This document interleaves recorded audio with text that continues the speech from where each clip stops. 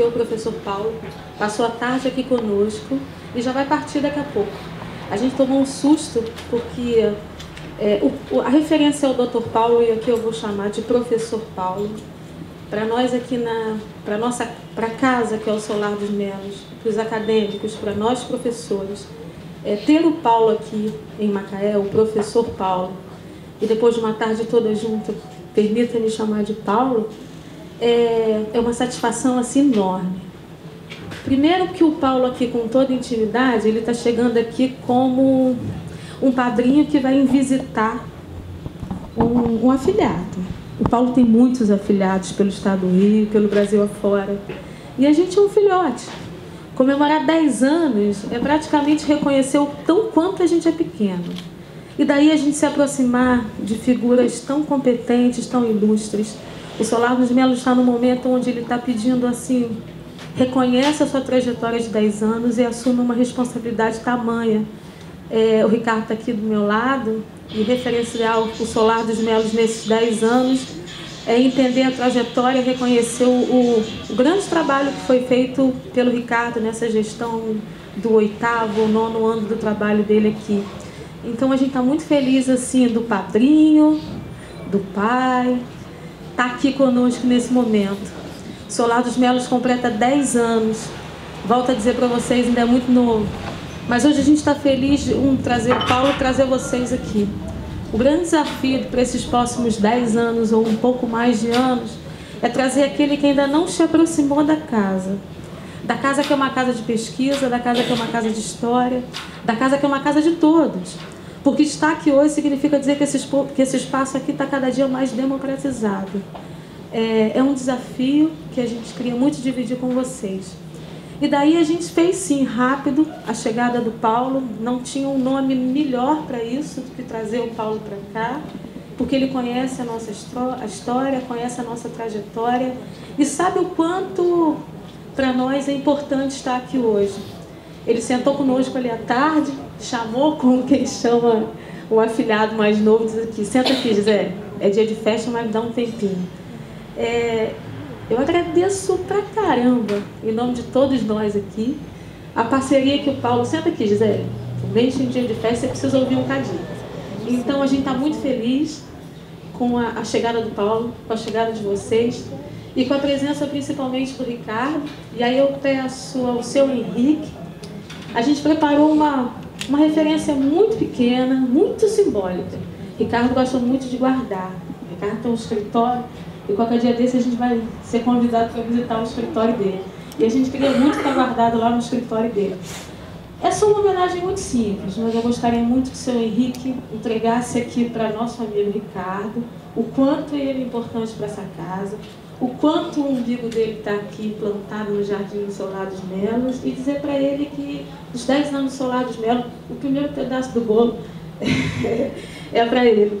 Então, seu Henrique, eu acho que a gente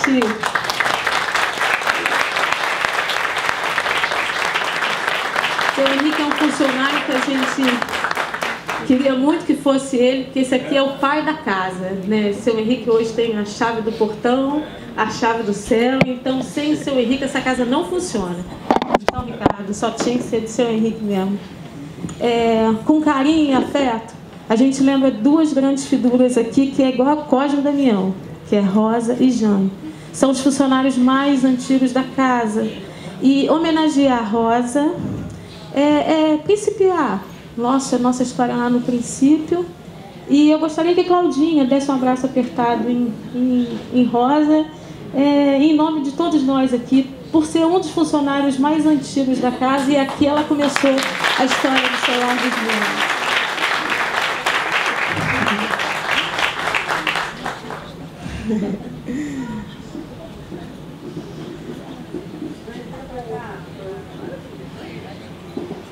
É.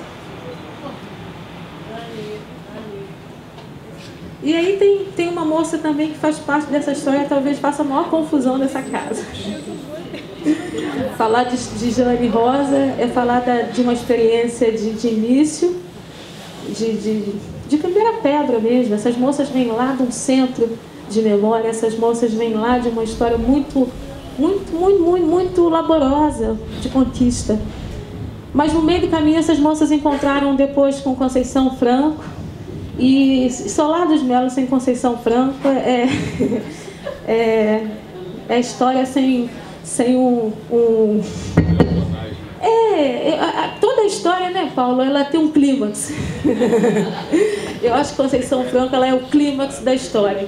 Então, é, é, é, com muito afeto que eu peço perdão, que eu peço licença ao meu grupo e homenageio essa minha. É, é a irmã da casa, é, é, a confusão da casa, é a vida da casa. Então, a gente, Paulo, passo para ti, é, Juliano, Gisele, Paulo, assim, a gente entrega para Conceição Franco. E, e talvez seja uma das pessoas mais generosas que eu conheço, assim, no fundo da minha alma. Então, que a generosidade possa ser, assim, para nós, nos próximos 10 anos, palavra de honra e de respeito perante vocês, sermos generosos com a casa, com a cidade, que precisa de muito afeto. A gente está passando um momento onde a gente sabe que a cidade recebe a cada semana, a cada hora, a cada dia uma leva. E dizem que a responsabilidade é da história, é da identidade, é da diversidade. Eu não sei se a, se a responsabilidade é nossa só, não. Os monumentos estão aí, os patrimônios estão aí, os lugares de memória estão aí e cabe a nós, cidadão. Não vamos jogar esse poder público, não, porque às vezes ele não tem esse poder todo que a gente tem enquanto cidadão. Então, Paulo, em nome assim, dessa casa toda, a casa está em festa, Juliano está feliz, nosso funcionário está mais uma vez cheio de vida. A gente agradece a presença de vocês e façam dessa casa a extensão do que é coletivo, porque a gente está precisando de coisas e histórias mais coletivas. Sejam bem-vindos no dia 8 de, de, de, abril. A gente tem um lançamento desse livro bonito aqui, ó. É, a gente espera vocês aqui no dia 8 de abril para que cada um de nós levemos para casa um livro bonito desse e saímos com a responsabilidade de reproduzir essa história. Tá bom? Sejam bem-vindos, seu Paulo. Aí, cadê essa